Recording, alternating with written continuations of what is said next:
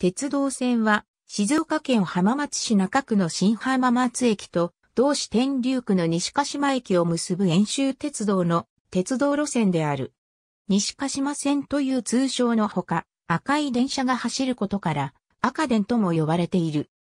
全18駅中16駅に交換設備が設置されており、単線ながら毎時上下各5本の高密度運行を実現している。ちなみに、引間駅は高架化完成時に交換可能となり、それまでは18駅中15駅交換可能だった。2007年秋から駅ナンバリングが導入され、車内の路線図や各駅の駅名表に駅番号が表示されている。番号は新浜松の01を起点に、西鹿島の18までとなっている。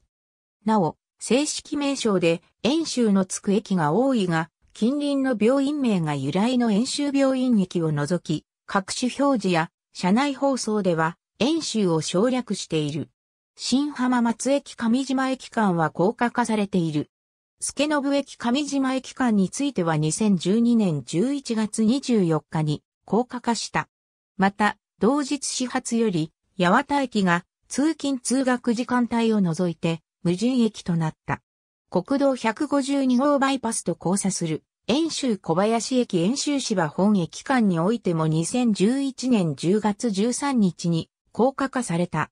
前線にわたって平野部を走行するためトンネルはなく、自動車学校前駅、遠州芝本駅付近の地上と高架の境界区間を除き、ほぼ平坦である。自動車学校前駅付近で東名高速道路、遠州岩水寺駅付近で新東名高速道路をくぐり抜ける。沿線は住宅や商店が比較的多い。自動改札機は導入されていないが、有人駅、無人駅に関わらず、全駅に自動券売機が導入されている。詳細は自動券売機の節を参照。時刻表検索システム ET ナビが導入されている。公式マスコットとして赤デンジャーと称するキャラクターが存在し、イベントや公式サイト内で見られる。早朝と深夜を除いて12分間隔で運転されている。全列車が新浜松駅西鹿島駅間を直通する各駅停車での運転で途中駅を始発、終着とする区間列車の設定はない。かつては急行列車や新浜松駅浜北駅間の区間列車が存在した。なお、ワンマン運転は実施しておらず、全列車に車掌が乗務している。通常は2両編成での運転が基本だが、平日の朝夕ラッシュ時の列車は4両編成で運転される。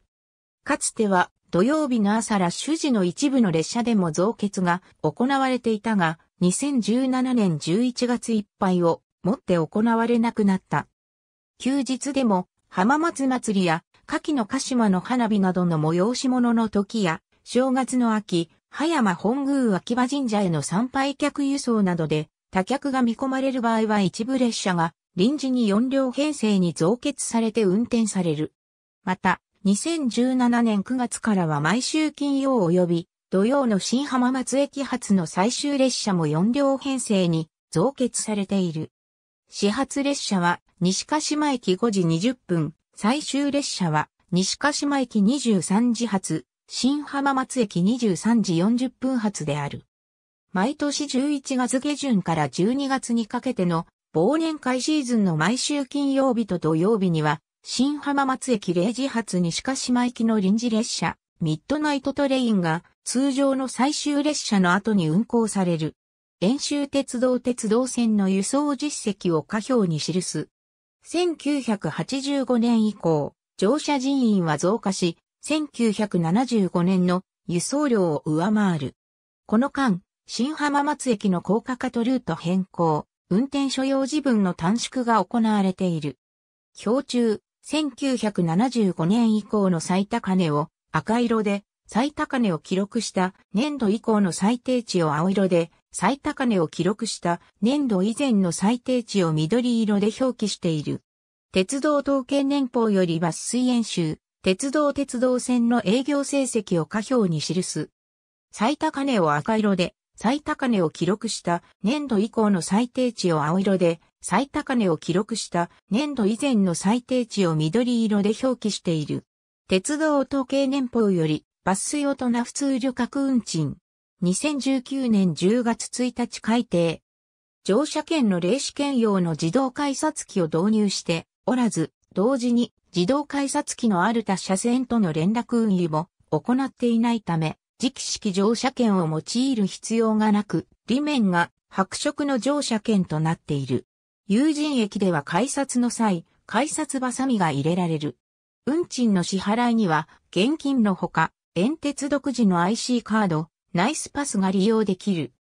かつて発売していたものとして、回数券の鉄道回数券、磁気カードの ET カードがあったが、鉄道回数券は発売日から1ヶ月の有効期限到来に伴い、ET カードは2010年4月15日いっぱいでの鉄道線利用終了に伴い現在は使用することができない。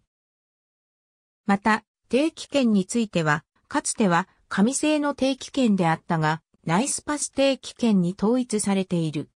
このほか、イベント等の際に、鉄道線限定の1日乗車券を販売することがある。これらの切符は、友人駅及び鉄道を営業所で購入できる。ただし、浜名湖レールパスや浜名湖にデーズパスは、遠州鉄道の鉄道駅窓口での発売はなく、浜松駅、バスターミナルや、天竜浜名湖鉄道天竜二俣駅、掛川駅、新所原駅などのみで発売。機構入分は、有効期限までの任意の1日に利用できる。前述した通り、有人駅、無人駅に関わらず、全駅に自動券売機が導入されている。2006年頃からは、タッチパネル式ナイスパス対応券売機が各駅に1台以上設置されており、また2010年4月までは ET カード対応券売機が各駅に1台以上設置されていた。そのため、各駅には最低2台以上の券売機が設置されている。また、一部の券売機では定期券の更新の機能を備えているが、詳細はナイスパス定期券を参照のこと。現在全車両に音声合成装置を装備している。ただし、車掌乗務であり、新浜松駅発車後と西鹿島駅発車後は肉声で案内する。また、1000系以降では2段 LED 案内表示器が採用されているが、下段には見えるラジオを受信して文字情報が表示される。詳細は煙鉄バス LED 表示器を参照。